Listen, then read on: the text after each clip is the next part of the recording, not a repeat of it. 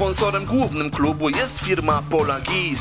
Okna, drzwi, bramy, rolety, żaluzje fasadowe. Materiał z głównej kamery dzięki uprzejmości Zachodnia TV. A w Jeleniej Górze Podlesianka Katowice mierzyła się z miejscowymi karkonoszami. Wszystko w ramach szóstej kolejki Betclick trzeciej Ligi Grupy Trzeciej w sezonie 2024-2025. Przechodzimy już do składów obydwu drużyn i zaczynamy od ekipy gospodarzy Karkonosze w bramce Radziński, dalej Pajasek, Bronisławski, Radziemski, Maciejewski, Bezpalec, Fediuk, Zawadzki, Kocot, Przybylski i Klimek. Trenerem gospodarzy jest Jacek Kołodziejczyk. Podlesianka w bramce Tomanek, dalej Wacławski, Nowotnik, Grzeszczyk, Paszek, Kopeć, Winiarczyk, Rosiński, Rzemła, Jarnot i Krzak. Trenerem LGKS-u Dawid Bremer.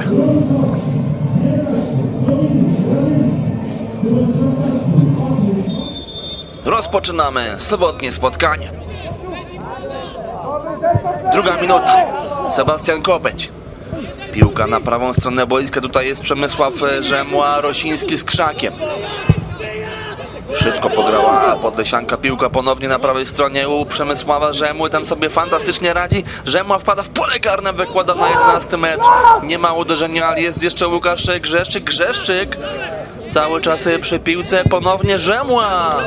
Dośrodkowanie. No i wybijają to gospodarze, ale naprawdę bardzo ładnie pograli tutaj piłkarze LGKS-u, którzy zamknęli Karkonosze we własnym polu karnym.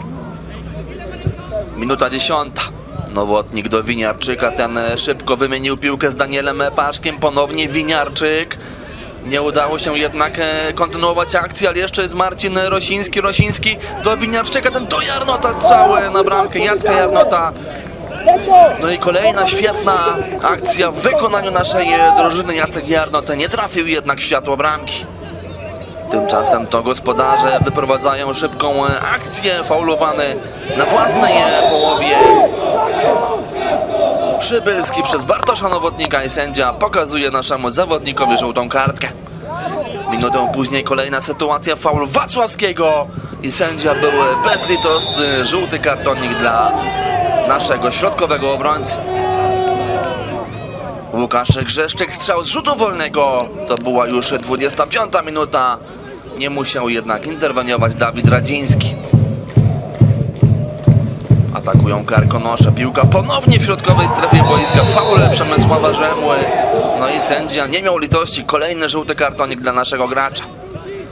A pod drugim polem karnym, no wydaje się, że faulowany jest ten Przemysław Rzemła. Sędzia jednak nie przerywa gry, chociaż my mamy spore wątpliwości, czy nie było tam tak zwanego stempelka. Marcin Przybylski na lewej stronie boiska traci jednak piłkę, ale bardzo groźny wślizg w kierunku Bartosza Nowotnika. No powinno to się skończyć co najmniej żółtą kartką, gdyby noga postawna Nowotnika znajdowała się na murawie, to musielibyśmy mówić o poważnej kontuzji naszego zawodnika. Na szczęście nic się nie stało, ale takie zagrania trzeba z piłki eliminować. Protestował trener Bartosz Gruszczyński, który otrzymał za to żółtą kartkę. To już ostatnie sekundy pierwszej połowy. Atakują Karkonosze. Piłka na 16 metrze, ale nie udaje się oddać strzału. Jeszcze nie koniec tej akcji. Piłka uderzona na bramkę. Drobny rykoszet od Łukasza Winiarczyka i nie musiał interweniować Artur Tomanek. Druga połowa. Walka o piłkę w środkowej strefie boiska. Lepiej radzą sobie Karkonosze, ale fatalnie teraz tracą piłkę. Daniel Paszek rusza w pole karne. Daniel Paszek przewraca się gracz LGKS-u. Sędzia grę przerywa, ale nie będzie jedenastki, będzie za to żółta kartka dla Daniela Paszka. Sędzia uznał, że nasz zawodnik symulował w tej sytuacji i przyznał piłkę Karkonoszom. Grzeszczyk do Winiarczyka. Ponownie Łukasz Grzeszczyk, uderzenie na bramkę zablokowane. Groźnie było pod bramką gospodarza, no ale dobra interwencja w defensywie. A my jesteśmy już pod drugą bramką. 56 minuta. Patryk Maciejewski wycofuje piłkę. Dośrodkowanie w pole karne jest tutaj Michał Pajasek, który był bardzo bliski umieszczenia piłki w siatce. Wybija futbolówkę jednak Sebastian Kopeć i zażegnuje niebezpieczeństwo. No o dużym szczęściu mogą teraz mówić goście. A to już minuta 67. Kolejna akcja gospodarzy, piłka przeniesiona na lewą stronę boiska. Jesteśmy już w polu karnym Podlesianki, miękkie dośrodkowanie. Nie przecina tego Wacławski, jest strzał na bramkę Michała Pajacka i gospodarze w 67 minucie obejmują prowadzenie. No niespodziewany obrót e, sprawy, bo to jednak Podlesianka miała więcej sytuacji w tym e, meczu. Karkonosze nie zagrażały zbyt e, często naszej bramce, no ale to gospodarze wychodzą w tym meczu na prowadzenie.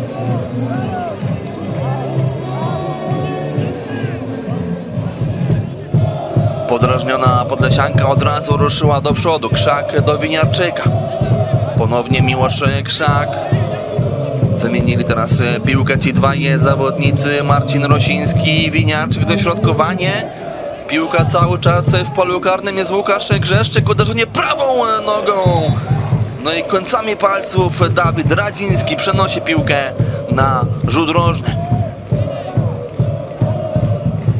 73 minuta, Grzeszczyk dośrodkowanie, jest kopeć, uderzenie zablokowane, jeszcze jest Jacek Jarnot i 1 do 1, bardzo szybka odpowiedź LGKS na trafienie Karkonoszy, no a Jacek Jarnot strzela swoją pierwszą bramkę w trzeciej lidze, która na ten moment daje naszej drużynie jeden punkt zdobyty w Jeleniej Górze. Intuicyjne uderzenie Jacka Jarnota, ale najważniejsze, że piłka znalazła drogę do siatki. 80 minuta. Nowotnik e, do Wacławskiego. Grzeszczyk teraz kapitalnie uruchomił Winiarczyka, ale nie udało się mu przedrzeć podleciance z piłką.